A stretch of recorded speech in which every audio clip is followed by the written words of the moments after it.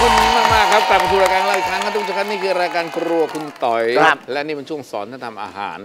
วันนี้ผมสามคนรู้สึกยังไงก็ไม่ทราบ มีความรู้สึกว่าเฮ้ยเราอยากจะกินอะไรที่มันเป็นอาหารแบบข้าวต้มหน่อย ที่เป็นข้าวต้มข้าวต้ม คืออยากได้อะไรที่มันร้อนเออเหมือนกันเลยครับข้าวต้มกุ้ยอ่าอารมณ์แบบข้าวต้มอยากกุ้ยได้ข้าวต้มกุ้ยอยากได้แบบคนที่ทำน้ำซุปๆเฮ้ยอยากได้ข้าวต้มกุ้ยเหรอวะบอกดิวะคือพูดตกใจหมดเลยกุ้ยไงปลาเออเออเออไม่ใช่ตกใจแล้ว รับมุกไม่ทันอ๋อท่านผู้ชมครับร้านนี้เป็นร้านข้าวต้ม ชื่อร้านข้าวต้ม ปลาเก๋าใหญ่เจ้าเก่าสอโภชนาครับ ร้านนี้ก็ทำเมนูเมนูหนึ่งเรียกกันว่าพุงปลาเก๋าผัดเกี๊ยมฉ่ายท่านผู้ชมเดี๋ยวมาฟังจากเจ้าของร้านเขาแล้วดูว่าอยู่ที่ไหน ถ้าท่านอยู่แถวนั้นผมพูดจริงๆฮะไปเลยครับ มันเป็นอะไรที่แตกต่างอีกอย่างหนึงและเป็นความสุขใจที่ได้กินอะไรลักษณะนี้แบบนี้แล้วมันมีข้าวต้มด้วยนะฮะข้าวต้มก็แน่นอนฮะขนาดพุงปลาเก๋ายังเอามาทำใช่นี่ก็เป็นข้าวต้มปลาปลาเก๋าแน่นอนใช่นะครัฮะบปลาเก๋าแน่นอนอยู่อย่างนี้ตรงนี้โอ้ยแต่เขาทำยังไงมันถึงอร่อยขนาดนี้ ขอเชิญท่านผู้ชมพบกับ คุณประสงค์สุดใจจากร้านข้าวต้มปลาเก๋าใหญ่เจ้าเก่าสอโภชนาครับเชฟโบครับ ครับ พี่โบดีครับ พี่โบครับสวัสดีครับพี่เชฟโบสวัสดีครับครับ สวัสดีครับโบครับพี่โบโบครับสวัสดีครับก่อนก่อนที่จะมาเปิดร้านนี้ทำอะไรมาก่อน ก็ทำเชฟมา 37 ปีแล้วครับ 37 ปีครับทำที่ไหนบ้างอะครับ ก็หลายครั้ที่งแรกเลยที่ครับหลายที่ครับ หลายที่เลยจนกว่าครับ ในที่สุดทำไมถึงได้มาเปิดร้านของตัวเอง ก็อยากมีร้านเป็นของตัวเองอะครับ ใช่ไหมครับ แต่ตอนแรก ๆ คิดว่าจะทำเล็ก ๆ ครับ จะทำเป็นแบบว่ารถเข็นเล็ก ๆ จริง ๆ จริงๆเหรอ คือจะเริ่มขี้จะกียจเริ่มแบบรถเข็นขี้เกียจทำอะไรใหญ่โตใช่ไหมครับแต่ผลปรากฏพอเอาเข้าจริง ๆ ไม่ได้ครับเราก็เลยต้องทำมาเป็นร้านข้าวต้มเลย ร้านขายอะไรบ้างครับเชฟโบ ก็มีเมนูปลาหนึ่งซีอิ๊วหนึ่งพริกมะนาวปลาเก๋าทอดราดพริกสามรสอ่าปูผงกะหรี่อืมผัดพริกไทยดำครับ เป็นประเภทเรียกว่าหัวร้านปข้าวลาต้ม หัวปลาเก๋าต้มยอ๋อโอ้โหำครับนี่ขาดไม่ได้เลยครับขาดไม่ได้เนื้อปลาลวกจิ้มเลยครับนี่ครับนี่นี่นี่เนื้อปลาเก๋าลวกจิ้มอย่างเงี้ยใช่ไหมครับลักษณะนี้อะท่านผู้ชม แต่มันมีเมนูที่มันพิเศษโดดเด่นขึ้นมาสำหรับการทำรายการทีวีครับ มันเป็นการเอาพุง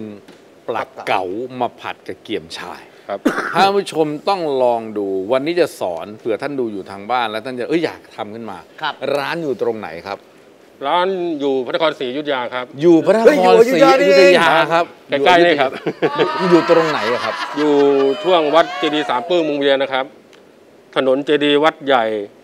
ไปวัดพนัญเชิงอยู่ระหว่างกลางพอดีนะอครัยู่ระหว่างกลางระหว่างสองวัดอ่าครับ ระหว่างกลางระหว่างสองวัดปันะกหมุท่านดผู้ชมเลยฮะครับมันเหมือนไปเจอเพชรเม็ดงามเลยที่นั่นเขาไปอยู่โอ้โหอยู่ตรงนั้นนะขายอย่างนี้ ประสบการณ์ 37 ปีออกมาแล้วมาทำอย่างนี้ แล้วคนแถวนั้นได้กินอย่างนี้ครับท่านวันนี้ได้ดูด้วยและเอาไปทำได้ด้วย มันเป็นโชคของท่านมากๆพุงปลาเก๋าผัดเกี๊ยมฉ่ายครับ นี่คือร้านของเขาครับ ตอนแรกกะจะทำเป็นรถเข็นนะฮะไปไปมามาดูดิฮะร้านเบันเลอร์เลยนะ ดูดิฮะนี่ครับนี่นี่เป็นปูปลาเก๋านะครับครับผมอ่าเริ่มต้นในการทำเริ่มจากตั้งกระทะให้ร้อนเลยนะครับ ร้อนไฟขึ้นอย่างนี้เลยนะฮะครับมันขึ้นแล้วก็ลงด้วยลงน้ำมันครับ คุณอ้อดูดีๆนะครับน้ำมันพอมันร้อนเดี๋ยวมันจะเต้นนะฮะดูครันะบนี่น้ำมันตามมันด้วยเต้นตามด้วยอ่ากระเทียมเจียวพอน้ำมันนะครับมันเต้นถึงผัดจะให้หอมครับอ่าถึงจะไปเจียวกระเทียมครับแล้วก็แล้ลวงพุงปลาเอาภูปลาเก๋าใส่ลงไปผัดครับ ตามด้วยตามด้วยเหล้าผมนิดหน่อยนะครับเหล้าจีนนิดหน่อยนึงครับแล้วแล้วก็ใส่น้ำสต๊อกไก่น้ำสต๊อกไก่ไปครับนี่ครับ ตามด้วยตามด้วยเกี๊ยมชายเกี๊ยมชายครับแต่ลูกค้าก็ไม่มีน้ำมันหอยครับน้ำมันหอยครับพริกชี้ฟ้าแดงแฉลบครับครับ ต้นหอมท่อนตามไปครับ ครับ ตามด้วยขึ้นช่ายขึ้นช่ายครับผัดให้หอมครับด้วยไฟแล้วแรงผัดครับ ให้หอม ครับ ผมด้วยพริกไทยครับแล้วก็ให้ป่นใส่พริกไทยป่นลงไป ผัดให้แรงให้หอมครับอร่อยครับใช้ได้ครับ ใส่จานครับ เสร็จแล้วครับ ครับเรียบร้อยแล้วครับง่ายๆครับ พุงปลาเก๋าผัดเกี๊ยมฉายครับไง จริงแต่ครับเรานึกง่ายครับภาพว่าท่านท่านจะไปหาพุงปลาเก๋ามาจากที่ไหนครับข้อที่หนึ่งพุงปลาเก๋าเนี่ยต้องเป็นพุงปลาเก๋าสดนะฮะครับปูเก๋าสดครับตัวหนึ่งใหญ่ประมาณสักกี่กิโลปลาเก๋าสิบโลถึงยี่สิบโลนะครับ มันถึงจะมีพุงถูกไหมครับมีพุงอยู่พุงเดียวนะครับ แล้วตัวหนึ่งก็มีพุงเดียวแม้มีสองพุงก็เกินไปแล้วนะฮะมีสองพุงก็เกินไปแล้ว มันจะมีพุงอยู่ท่านผู้ชม แล้วเอาพุงนั้นอะมาทำ ครับตอนนี้ก่อนที่จะเอามาทำตรงนี้ต้องเอาพุงไปทำอะไรก่อนคครัรับบเราได้พุงสดนี่มานะครับนี่นี่นี่นี่ครับตามที่ชี้เดี๋ยวเดี๋ยวเดี๋ยวนิดนึงอะเอาเอาจับได้ไหมเอาจับได้ไหมให้ยกเอาได้ยกได้ครับได้ครับนี่นี่นี่ฮะให้เราได้ครับนี่ครับไพุงนี่ครับ เราได้นี่พุตัวงละสิบสิบกว่าโลนะครับเออตัวนี้คือพุงขนาดนี้คือตัวเนี่ยครับสิบกิโลเออจะได้10พุงขนาดนี้ถึงยี่สิบโลอะไรอย่างเงี้ยครับโค้งงี้ครับ นี่หนึ่งพุงใช่ไหมฮะครับนี่นี่ก็พุงพุงพุงใหญ่ก็มีครับอ๋อใหญ่กว่านี้ก็มีครับนี่โอ้ครับนี่คือพุงของมัน พอเราได้พุงส่วนนี้มาแล้วทำไงต่อคครัรับบเราก็ต้องมาทำความสะอาดนะครับอ่าเอ่อล้างเกลือล้างแป้งอะไรหลายน้ำให้สะอาดทำความสะอาดไม่ให้มีกลิ่นอะไรเนี้ยใช่ครับแล้วไงต่อเอาไปทำอะไรอ่าแล้วก็ต้องไปตุ๋นนะครับเอ่อนี่ไงท่านต้อผู้งชไปมตุ๋นก็ต้องใช้เวลา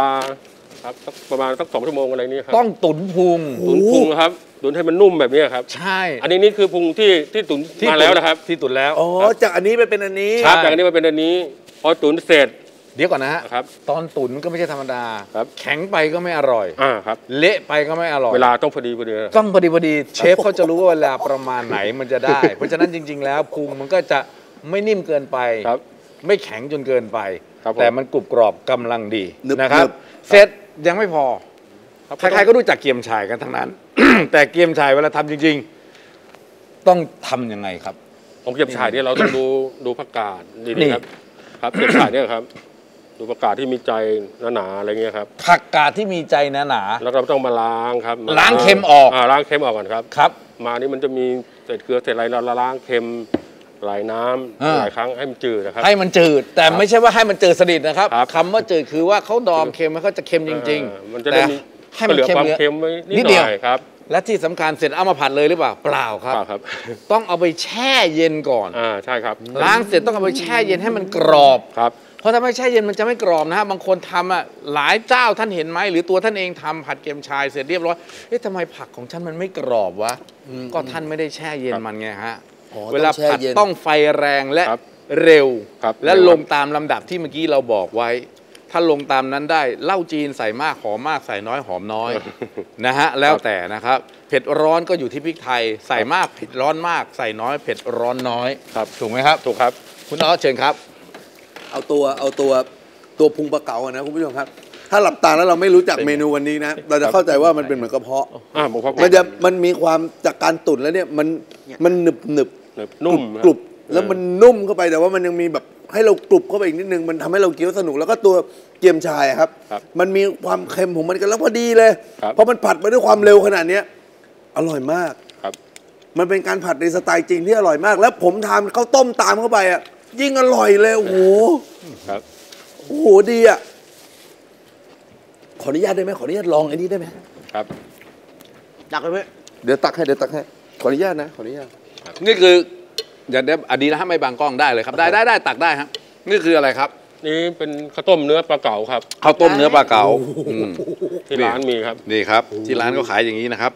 แต่อันเนี้ยแต่นี้ก็จบแล้วเนี่ยจริงอันนี้ก็จบอันนี้ก็ชนะไปแล้วอะโอ้โห ท่านผู้ชมฮะ โหผัดเกมชายชนะไปเลยอะใครไม่เคยทานนะฮะต้องไปลองดูฮะ นี่นี่นี่คุณอาราม โอเทลานๆฟังเลยพี่ไม่ตังค์พี่อะ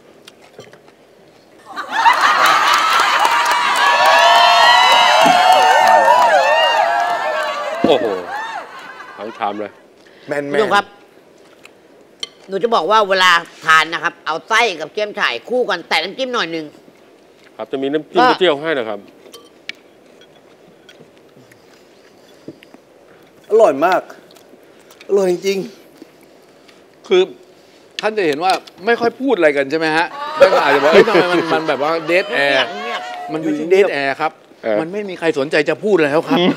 คือด้วยตัวผมก่อนนะคุณผู้ชมโอ้โหเวลาคุณผู้ชมไปร้านนี้นะ ร้านข้าวต้มปลาเก๋าใหญ่เจ้าเก่าสอโภชนาอยู่จังหวัดอยุธยานะ นี่คือเมนูหนึ่งถ้า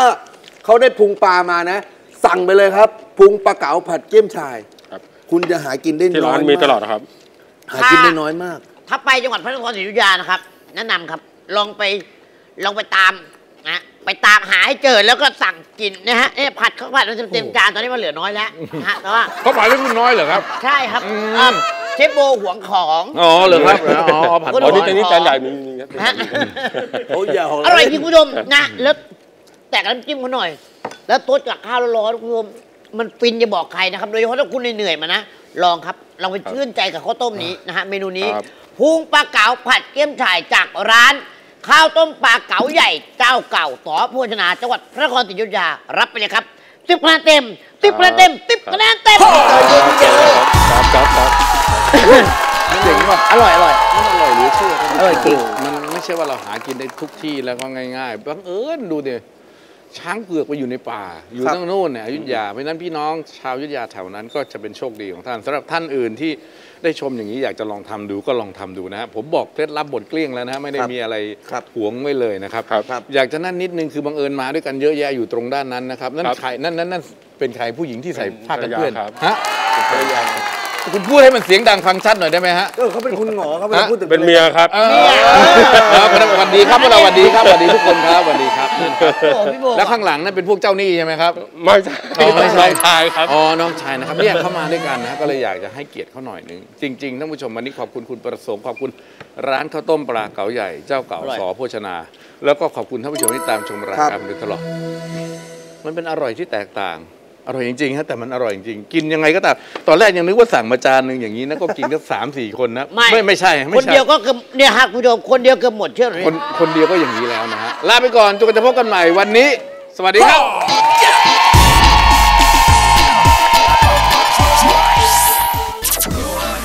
แล้วถ้าเกิดไปกาญจนบุรีแล้วไม่ไปร้านนี้ ถือว่าผิด ร้านนี้แรงจริงเด็ดมาก บ้านบ้านจริงๆแล้วรสชาติจัดจ้านสุดกลุ้มใจผ่านนี้ทำไมนวลใหญ่ไม่มาๆมือเขาน้ำพริกไก่เค็มหมูกระจกครับ อันนี้ท่านผู้ชมมันเป็นทีเด็ดสุดๆเลย เนื้อสัมผัสมันแน่นไปหมดเลย เป็นน้ำพริกที่กินแล้วเต็มปากเต็มคำแล้วถ้าไม่ให้ไปก็ลองตาม